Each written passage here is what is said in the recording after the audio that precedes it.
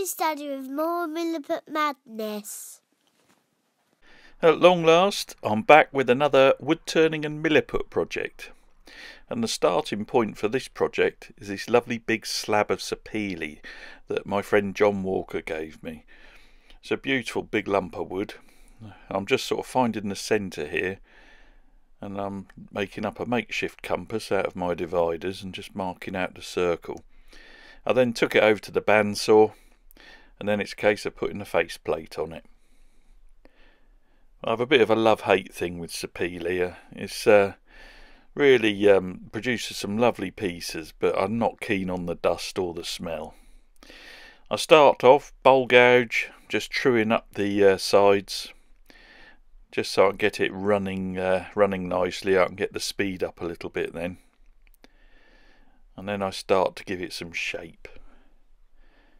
So uh, just giving it a rounded edge. This is all with the 3 8 bowl gouge. Doing some push cuts. Trying to avoid any tear out. As you can see, I'm getting some nice smooth cuts there.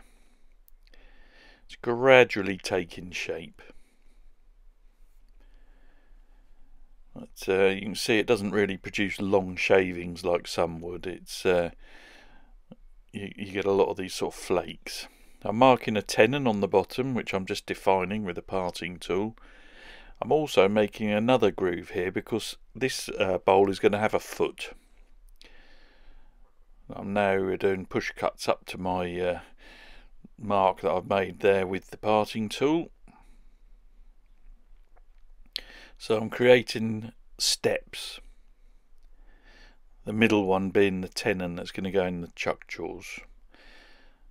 And here I'm just shaping the underside of the bowl, creating that dovetail on the tenon, and I'm rounding over the foot to create a bead. I'm using a variety of tools here, point tools. Uh, I'm even using a, a half inch spindle gouge at one point just to create that beaded edge to the foot. These uh, sort of finishing cuts really, producing the final contour to the outside of the bowl. Once again, trying to avoid tear out. It's easy to sand away a few tool marks, not so easy to get rid of tear out. And then a bit of sanding using a, one of these self-propelled bowl sanders.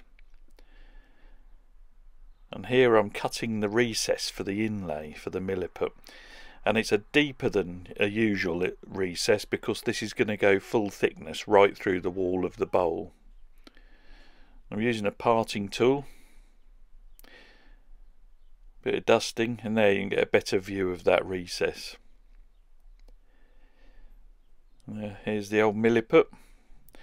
Black, white and terracotta for this one. The terracotta goes well with the sapele.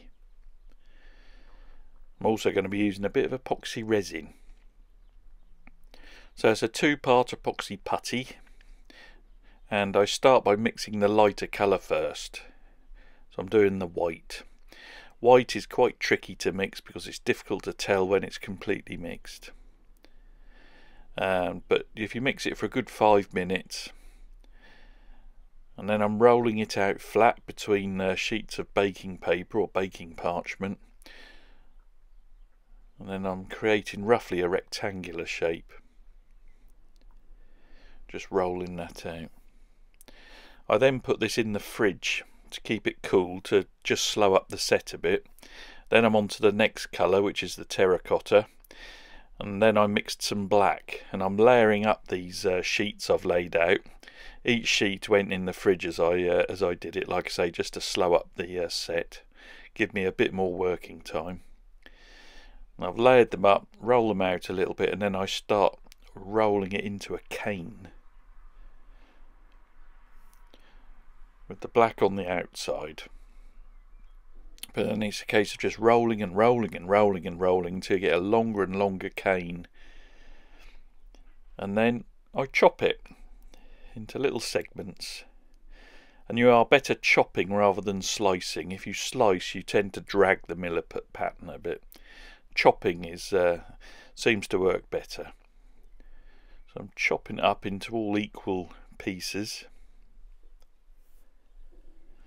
And then what I do is these these little slices get laid on their side and sort of squidged together to form this flat snake or ribbon. And you want it to be just narrower than the recess really and a bit deeper than the recess. That's the uh, best way of doing it. So this took a bit of time. The next thing I do, which is something I don't often do, is I line the recess with some epoxy resin. And this is slow set epoxy resin. Takes uh, several hours to fully cure. I only do this really if it's a particularly wide inlay or it's an inlay that is going right through from one side to the other. Just gives it a bit more security. I know the bowl's not going to fly to pieces when I turn it. And here I'm placing that ribbon of milliput into the recess. And I'm trying to avoid getting voids. I'm just seating it all the way round. And then it's a case of squidging it all in. Just keep squidging it and squidging it and squidging it, pressing it in, making sure you get rid of all the voids. It'll start to look a bit messy, but don't worry about this because uh, it all looks good in the end. So, so I've left it overnight, then we're back on the lathe, and here I'm cutting back the milliput to reveal the pattern. I think I'm using a uh, Easy Wood Tools Easy Rougher here. And then I'm sanding. And there's the pattern emerging. You can see it's looking really good. Bit more sanding. And then some dusting. And then we're going to put some uh, cellulose sanding sealer on. I use the spray for this sort of thing. But you can really see the pattern and the grain begin to pop. Then it's Yorkshire grit, two coats of sanding sealer, and then it's uh, once that's dry, it's a liberal coating of Yorkshire grit. And then you work it and work it, and it gets finer and finer, and then buff it all the way. Off with the faceplate, back on the lathe, then we can do some hollowing. Lots of hollowing. 3 8 bowl gouge. Frequent trips to the uh, sharpening machine. Then you just see the uh, the other side of the inlay appearing there. And there's the pattern appearing on the other side. Checking the thickness, making sure I've got a nice even wall thickness with some calipers. And then uh, making sure I've got a nice contour to the uh, base of the bowl bowl sander again and then some power sanding in the middle. Two coats of uh, sanding sealer and more Yorkshire grit. And there it is. Just put a light coat of microcrystalline wax on it just to finish it. This is the Renaissance uh, brand. But there are quite a few around. But I'll leave that for 20 to 30 minutes and then buff it off. Lovely bit of chatoyancy there bowl reversing jaws. I think that's on the easy chucks. They're the biggest set of jaws I've got. I'm just turning away that tenon using a bowl gouge. Bit of sanding, bit of branding, and we're done. Here it is, the finished bowl. It's a 15 inch shallow bowl or dish, uh, beaded foot and milliput inlay that's with white black and terracotta and this is full thickness so it go, it's not just a surface design it goes right through from one side to the other. Um, it's quite thin four or five mil thick so it's quite lightweight um, despite its size.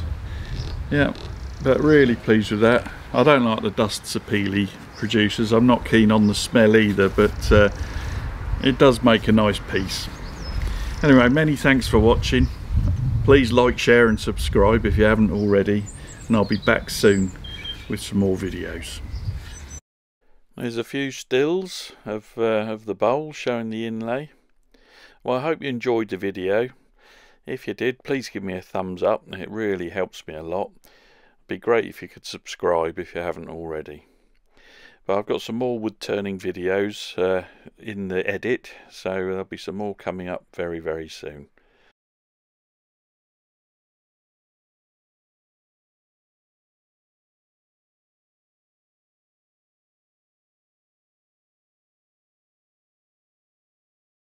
More rubbish coming soon.